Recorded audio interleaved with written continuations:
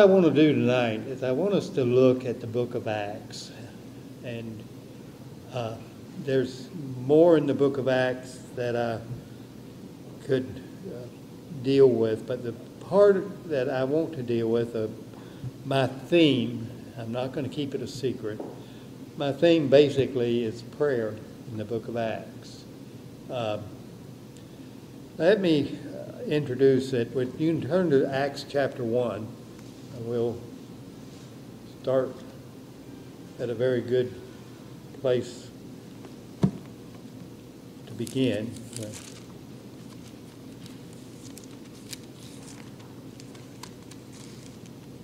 I'm going to turn to Acts chapter 1, and I'm going to put my Bible up there, and I'm going to tell you something.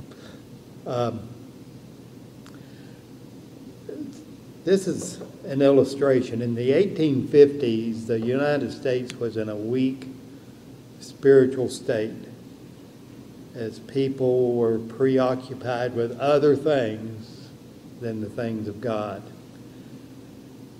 In 1857, a quiet 46 year old businessman named Jeremiah Lanphier, or Lanphier, felt led to start a noontime weekly prayer meeting in New York City. Um, in this prayer meeting, business people would meet for prayer, and anyone could attend for a few minutes or for the entire hour. Uh, it was open ended you know, prayer meeting. Uh, on the first day, Lanphier prayed alone for half an hour. It was announced, and he was the one who showed up. So, what did he do? He prayed. Have you ever come to pray and left because you were the only one? It only takes one of us to pray, okay? But by the end of the hour, six men from at least four denominational backgrounds had joined him. Twenty came the next week, and 40 the week after. Soon they decided to meet daily, and the group swelled to over 100. Pastors who came started morning prayer meetings in their own churches. Soon, similar meetings were being held all over New York City. No, all over the country. Um, within six months, there were more than 10,000 meetings daily in New York City alone. This was the start of what is now termed, tell me, the Great Awakening. Yeah, the Great Awakening. But it was a great revival. That's, that's, uh, it is estimated that in a two year period, 1857 to 1859, two million people were led to Christ out of a population of 30 million. I would say that was a productive prayer time. Now, I want to look at the book of Acts and just catch some of the things that are well, I've got on my mind, and I'm not going to cover everything by, by any means. The book of Acts is filled with the early church praying. And as we see what happened as the early church prayed, as we see what happened as that group started praying in the 1850s, you see the value of prayer. God honors our prayers. Uh, Acts 1, and I'm going to begin with verse 12. Then they returned to Jerusalem from the mount called Olivet. which is near Jerusalem, a Sabbath day's journey. And when they had entered, they went up into the upper room where they were staying. Who was there? Well, it was Peter and James and John and Andrew, Philip and Thomas, Bartholomew and Matthew, James the son of Alphaeus, and Simon the Zealot, and Judas the son of James. These all continued with one accord in prayer and supplication with the women and Mary, the mother of Jesus, with his brothers. Uh, what did they do? They prayed. Uh, and in those days, Peter stood up in the midst of the disciples. Altogether, the number of names was about 120. And Peter said, Men and brethren, this scripture had to be fulfilled, which the Holy Spirit spoke before by the mouth of David concerning Judas, who became a guide to those who arrested Jesus. For he was numbered with us and obtained a part in this ministry. Now, this man purchased a field with the wages of iniquity and falling headlong, he burst open in the middle, and all his entrails gushed out. And it became known to all those dwelling in Jerusalem, so that field is called in their own language uh, Dama, that is, field of blood. For it is written in the book of Psalms, Let this dwelling place be desolate and let no one live in it. And let another take his office. Therefore, of these men who have accompanied us all the time that the Lord Jesus went in and out among us, beginning from the baptism of John to that day when he was taken up from us, one of these must become a witness with us of his resurrection. They proposed two Joseph called Barsabas, who was surnamed Justus and Matthias. And they prayed and said, You, O Lord, who know the hearts of all, show which of these two you have chosen to take part in this ministry and apostleship, from which Judas by transgression fell, that he might go to his own place. And they cast their lots, and the lot fell to Matthias, our own Matthias, and he was numbered with the eleven apostles.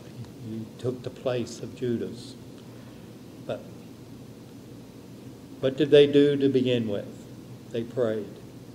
What did they do before they chose Matthias? They prayed.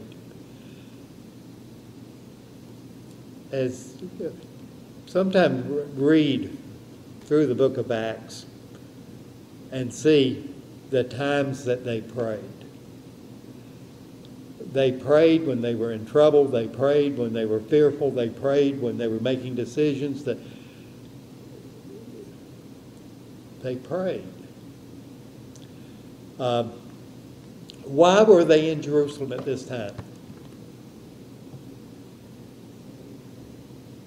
They were in Jerusalem at this time because Jesus told them.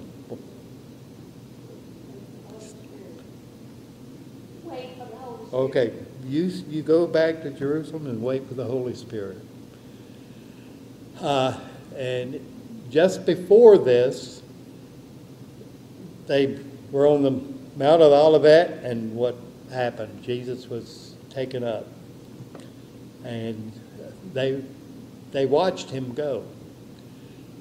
And there had to have been mixed emotions in that. There had to have been some sorrow in that, some grief in that, because here is their Lord, their supporter, their sustainer, being taken away from them. And it would have been very easy for them to have said, What's the use? What's the use? our Lord is gone. He's taken away. But what did they do? They obeyed. Prayer without obedience, prayer without doing God's will, is going to be weak, ineffective. But because they were obedient, because they went back to Jerusalem to wait for the coming of the Holy Spirit, they obeyed Christ. God honored their prayers. I think that when they were watching Jesus ascend, they must have just stood there for a while because they hadn't seen anything like that before. This is a first. They, they see their Lord ascending. And then they follow that with obedience.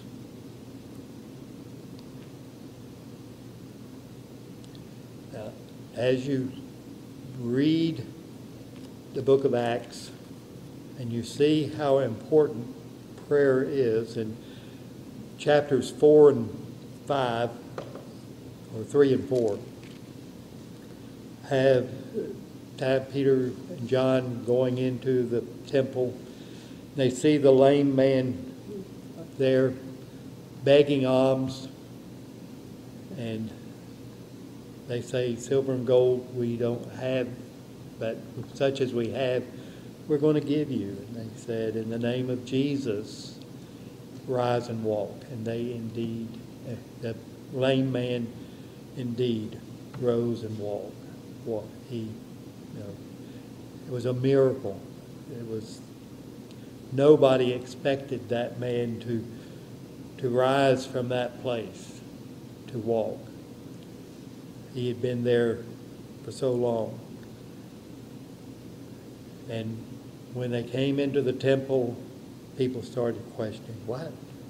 How do you do that? No, how, how did you, two men, do this?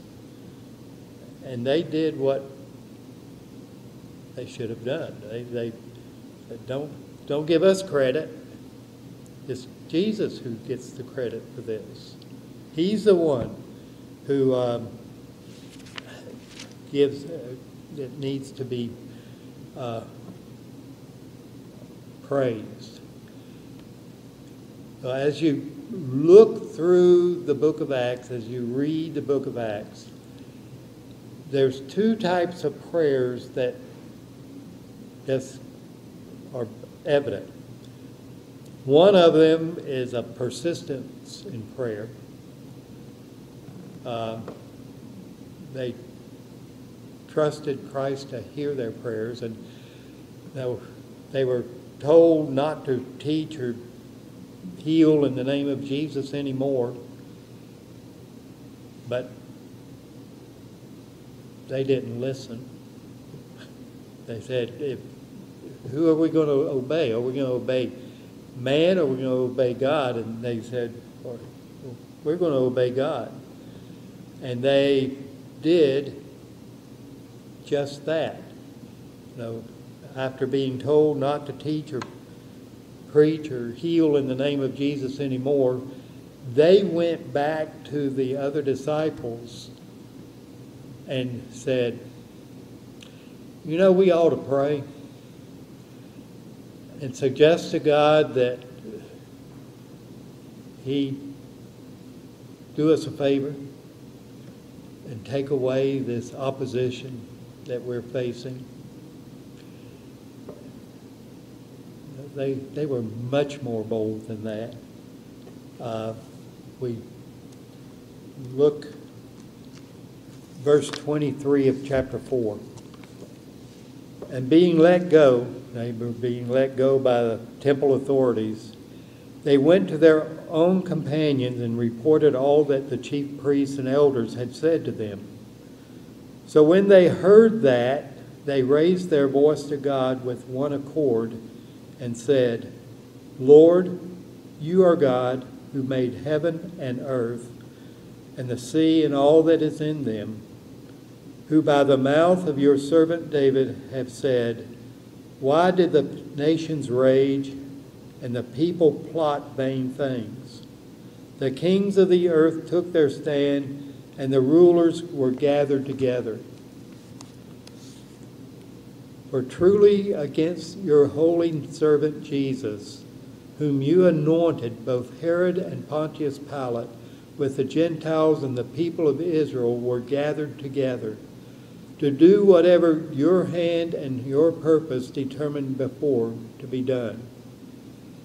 Now, Lord, look on their threats, and grant to your servants that with, that with all boldness they may speak your words, by stretching out your hand to heal, and that signs and wonders may be done through the name of your holy servant Jesus.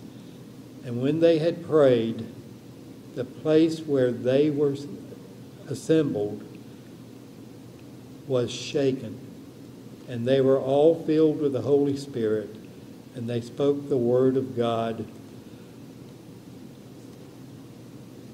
with boldness. Uh, if they had not been obedient, if they had not been people of prayer, I don't think they would have had the boldness because the people that were opposing them were the very people that had crucified our Lord. It wasn't uh, a group of disinterested individuals. It was a group, it was people who did not want the church to grow, did not want Jesus to be preached. Uh, and as you, uh, We've only just begun in the book of Acts. But in, at this point, they are obeying and they're praying. Another time when they had the conflict within the church, the Grecian were saying, Our widows are not being taken care of. What did they do? They prayed and sought God's wisdom, and they chose deacons to minister. Peter was arrested and thrown into jail. The opposition was great. And what did the church do? They gathered together and prayed. And wonder of wonders, Peter was released by God. And he went to the home where his brothers and sisters in Christ were praying, knocked on the door, and the girl came to the door and Who's there? Peter. Well, girl said, That can't be. He's in jail. but it was. You know, I, I wonder how many opportunities we miss being able to see God work in His miraculous way because we simply do not pray. I remember one time in my ministry when I won't go into great detail on this, but there was something that it was a ministry of a, in a campground that I feel like the time was there for some greater things to be done through that campground. And there was an opposition to it because, uh, well, I won't go into the details of the because, but there was opposition to it because certain individuals didn't like the changes that that would bring. And the leadership, and I was among the leadership, the leadership allowed that handful of individuals to squash the leading of the Spirit. And as a result, for several years, the ministry of that campground did not grow as it should have grown. Instead of letting that opposition oppose and squash, we should have done something like this. Uh, this is another illustration that goes back into the 1800s. Daniel Nash and Charles Finney were great evangelists in the early 1800s. On one occasion, when meetings had begun in a particular city, a group of young men confronted Charles Finney, openly announcing that they were going to break up the meetings. Finney and Nash decided this was best combated with prayer. So they found a grove of trees and gave themselves to prayer until, in Finney's words, we felt confident that no power which earth or hell could interpose would be allowed permanently to stop the revival. That night, the group of young men arrived to find a packed house to hear Finney preach. And Daniel Nash, who was ordinarily a quiet man, was sitting on the back row.